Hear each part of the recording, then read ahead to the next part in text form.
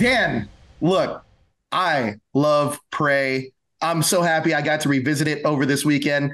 Um, October 3rd, it's coming up 4K, UHD, Blu ray, and DVD. Uh, I'm sure everyone can't wait. Um, one thing I want to ask you about is the world building, though, for Prey. Can you talk about the world building and why you decided to start at the beginning of the Predator story? Uh, I mean, I don't even know if it's the beginning of the Predator story. It is. It is. It is. Uh, it is the beginning of this Predator, the Predator in this movie. It's the first time he's ever been to Earth, um, or it's ever been to Earth.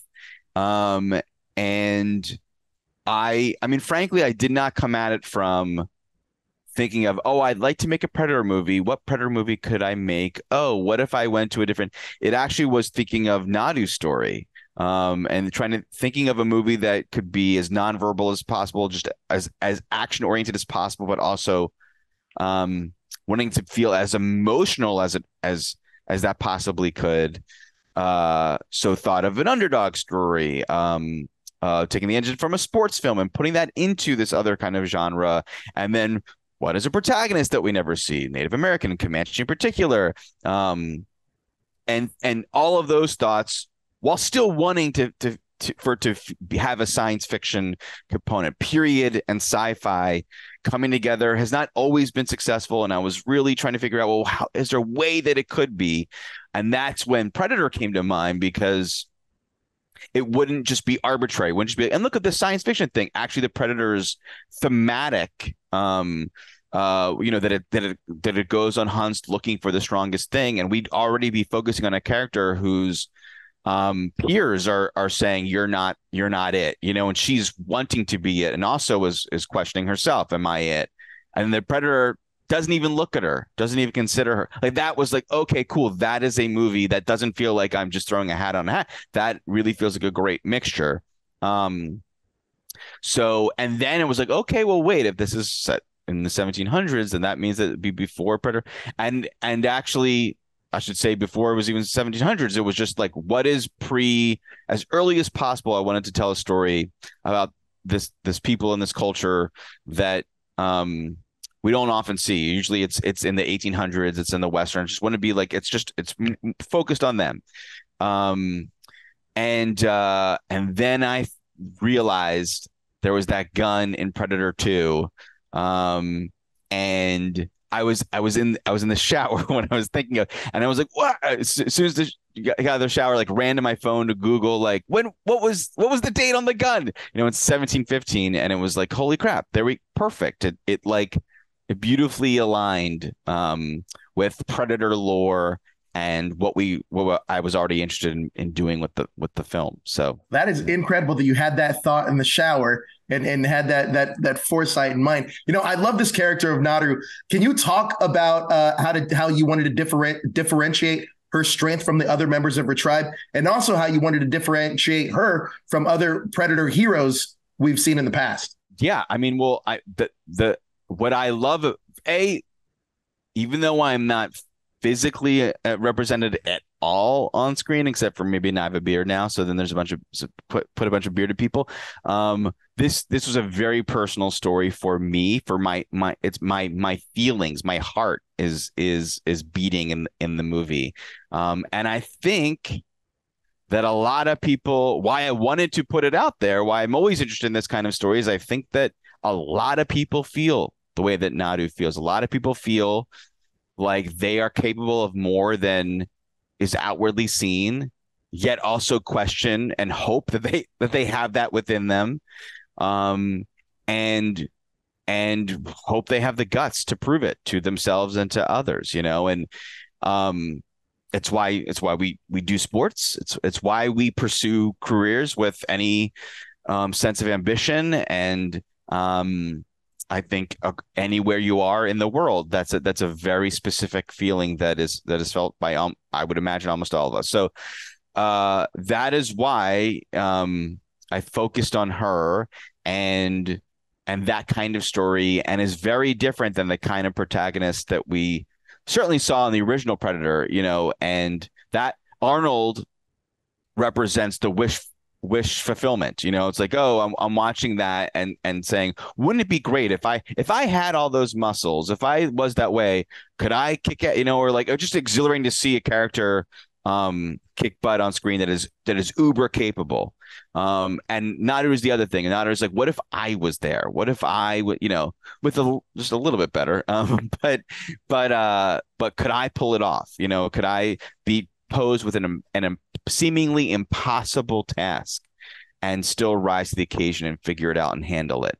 Um, so yeah, that's kind of how that came together. So when I originally watched Prey, uh, when it first came out on Hulu, um, my girlfriend had never seen the Predator movies before. So this is kind of like a new way to introduce such a such a famous character to her. Uh, were there any elements you wanted to set up with Prey for people that hadn't seen Predator before? Well, really, actually, the first cut of the movie, we we did not do our job uh, in making it for people who had not seen Predator. Really took for granted the um, the what the rules are of a of a predator, and so um, we had to kind of learn the hard way after screening for some for some friends and family uh, that we had missed missed that.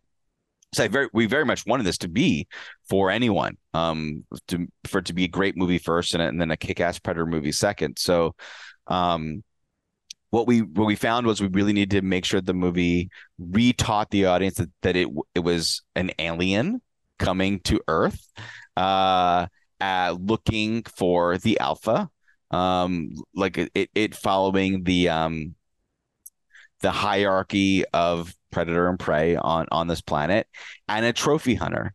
Um, before we did things like before we articulated that in the movie, um, there was a reaction to the sequence where it kills the bear, uh, or someone thought it was a vampire because it was because they thought it was drinking the blood of the of the bear. Before we had sequences that were it studying the ant and this and this and the the snake and the um uh and it getting the skull of the wolf and and attaching it to it. So you know like before those kinds of things were in the movie um it was like oh i don't know what this is a shimmering red thing and then it drinks blood. So you know so anyway it took it took a few unfortunate reminders that this must be a movie for everyone, of course, and we need to we need to make sure all that lore that is established in the other films we have in this one as well. Well, it worked because after that, I think we binged the next two Predator movies, so it absolutely worked. Uh, awesome. Uh, now, Prey explores this in, intense survival themes. How did you approach capturing the psychological aspects uh, of the character in such a gripping manner? Making sure the movie was was very linked to Naru's POV to making it a very experiential film. So we really only see, in large part, you know, what Naru sees and hear and feel it as best we can. So playing with sound and um, focusing on on the noises that she would focus in on, um, and uh, and letting the suspense build around her and towards her um, as opposed to it being like the other Predator films are a little bit more of a um, uh, a more classic slasher film approach where you're meeting a team of people, you're meeting a group of people and watching them killed by one. This is a much more specific, um, uh, you know, single protagonist oriented movie, uh, which just makes it all feel that much more emotional, and the suspense matters so much more because you care about her um, and her and her specific relationships. I mean, speaking of that, this film does showcase that such a unique blend of suspense and horror. Um, how did you balance maintaining the tension throughout the story without really like overwhelming the audience? Well, I think that goes back to, well, on the one hand, I would say like the what I loved about the original Predator was for me growing up, it was the first time I had seen a real genre combination and that was combining sci-fi, horror, and action. Uh, what I love about Prey is that it was a combination of science fiction, horror, and adventure. Um, and, and adventure films are not a genre that we we have too much of these days growing up we had a lot of them we had a lot of quicksand and slides and you know and uh and swinging from things and swashbuckle and and so i wanted to infuse this movie with a bit of that language as well and have um, moments of score that remind us of movie big epics um, that that I grew up with.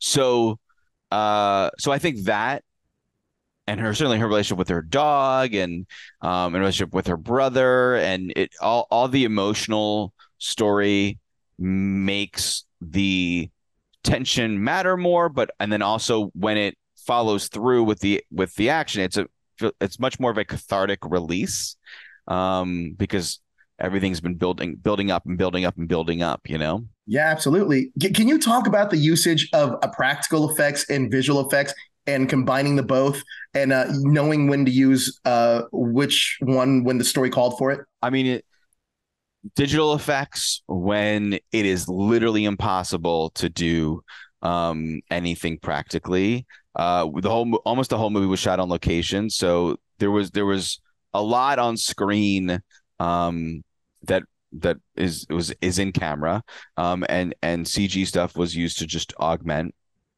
what was there, uh, from from landscape to snowfall to um, ash in the sky um, to even you know it, it, there's a bit that I love that we mentioned in the commentary in the movie that I'd forgotten about um, through the uh, the whole process of releasing the film. There was a big deal while we were making the movie where Amber, when she climbs out of the water um, after escaping from the predator, her she was wearing a wetsuit that was covering her arms, and it was very obvious and unfortunate uh, that we had no other take because it was something that we were just racing to get there in this in this in this pretty uh, gnarly location at the bottom of a of ravines and stuff. So um, we were we were kind of screwed until we found an awesome digital artist who uh, in just in 2D um, found a way to comp uh, skin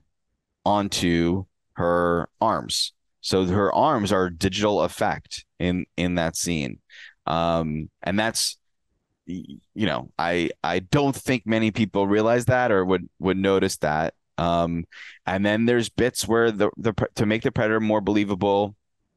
Um, it's all suit except it's when its hands have to articulate. We're very tight on its hands and it's sniffing ash. You know that's CG hands because his hands weren't articulating um, in the most refined way, you know, and sometimes we augment some of the mandibles and the face and um, here and there. And then sometimes it's really just it, you know, so it's always playing a little bit of a zigzag game with, you know, like you never know when it's going to be practical, when it's going to be real. So when you're seeing a thing, hopefully you're kind of lulled into it and tricked um, into, and, th- and I would argue the moments that are blatantly CG, um, are that way because there's no element of practicality to it that you what we're at what we're doing is so physically impossible so it should, it should sort of proves that the methodology is sound that you that the, the moments that people don't notice are those that we're really combining both things sure i look i love uh, home entertainment releases because of audio commentaries and you have a great one with you, Amber uh, Midthunder, Jeff Cutter, uh, Angela M, uh, Catanzaro. Um. I love audio commentaries because it's almost like going to film school in a way. It's hearing it from your guys' perspective. If there's an audio commentary that you'd like young filmmakers to check out, what would be your choice? Oh man. By the way, it was my film school audio commentaries. Was it really? Um, oh yeah. I mean, I mean, I also went to film school, but I think I learned as much, if not more, from listening to audio, audio commentaries growing up than I did from from movies. Um, I mean, the yeah, I would not. there's several that come to mind that were personal to me that I enjoy listening to. That I would say, well, that's probably not the most formative. I think David Fincher did some awesome commentaries. Um, Steven Soderbergh. There's, there's. I remember Traffic having a whole walkthrough of their post process that's sort of beyond commentary. It was showing you the avid, if memory serves, on the disc. That was really um, insightful. Uh, it's a great question. There's probably so many more. Um, but uh, but yeah, I would I would look to the Fincher and the and and and the Soderbergh. I remember Nightmare Before Christmas also having a commentary. I think I got that before DVDs. Um, that was super interesting. Um, I remember having a VHS of the commentary version I, that I got at like a comic convention or something. Boot probably bootlegged, you know, sure. Well, that's incredible. Look, Yeah. this the Prey Prey's coming out October 3rd on uh, 4K, UHD, Blu-ray, and DVD. It has over two hours of bonus features, including audio commentary, which I also agree. Like it's like going to film school. Like if anybody's gonna get it, get that alone. But uh Dan, thank you so much for your time, man. I really appreciate it. Thanks, man. Appreciate it. Take care. Awesome.